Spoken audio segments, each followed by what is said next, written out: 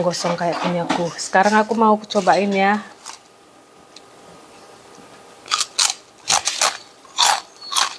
Hmm. Kriuk banget. Hai everyone, welcome back to my channel. Selamat datang di channel aku. Di video aku kali ini aku mau berbagi resep ke kalian Gimana caranya bikin kerupuk gendar tanpa pengawet. Dan di sini udah ada bahan-bahannya Nasi Tepung tapioka Tepung beras Bawang putih yang sudah dihaluskan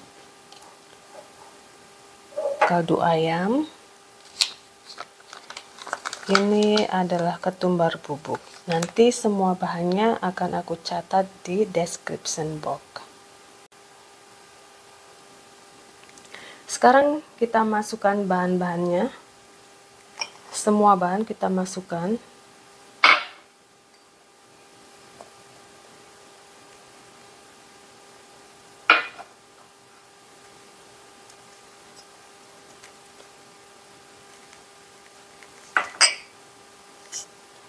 Kaldu ayam. Ketumbar bubuk garam. Kemudian kita aduk jadi satu ya.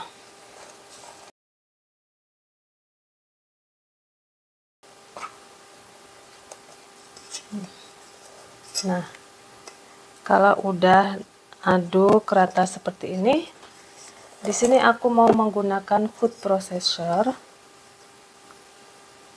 Bisa juga pakai blender ya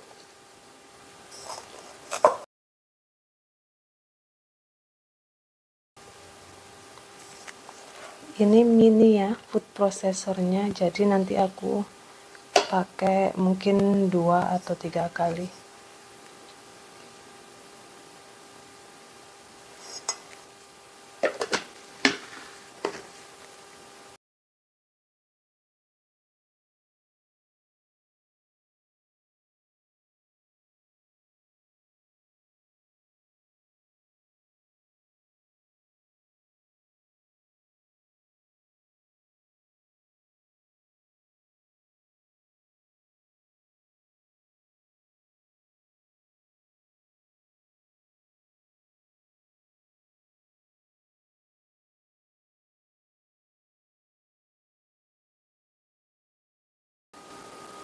ini kertas minyak aku mau kasih minyak. Kasih semprot minyak. Kemudian aku taruh nasinya tadi yang udah aku blender. Seperti ini ya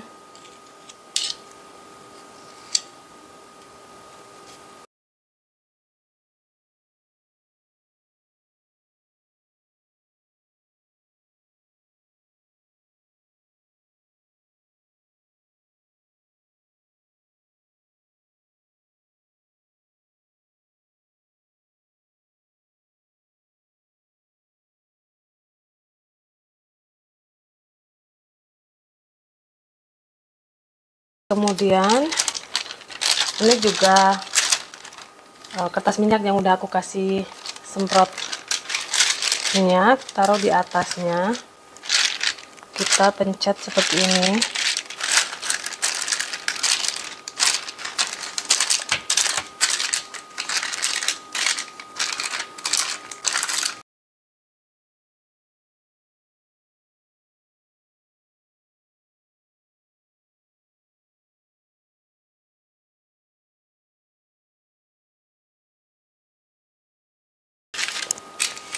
kemudian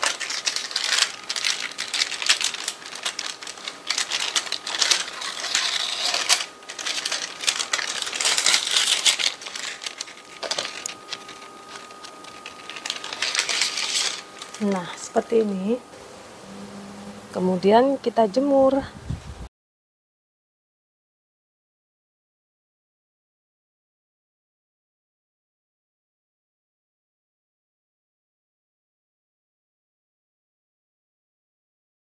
In, ini kerupuknya udah kering ya guys. Hasilnya seperti ini. Sekarang kita mulai goreng. Ini panaskan minyak. Kalau minyaknya udah panas kita masukkan kerupuknya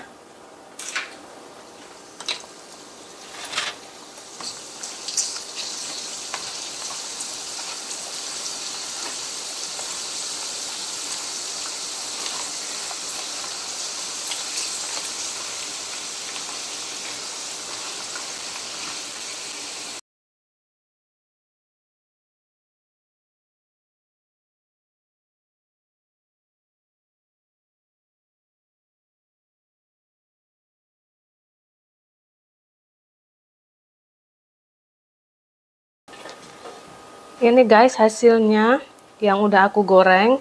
Dan ini kalau yang coklat-coklat kayak gini ini apinya kebesaran ya. Kalau api kalau uh, minyaknya udah panas harus cepet-cepet dikecilkan. Jangan terlalu panas jadi hasilnya nggak gosong-gosong kayak punyaku. Sekarang aku mau cobain ya.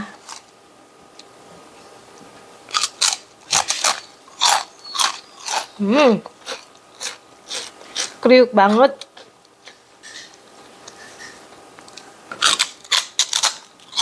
Oke okay guys, itu dia tadi video dari aku. Kalau kalian suka, like, comment, share, dan video aku ke teman kalian. Sampai jumpa di video aku selanjutnya. See you on my next video. Bye. Kevin mau cobain.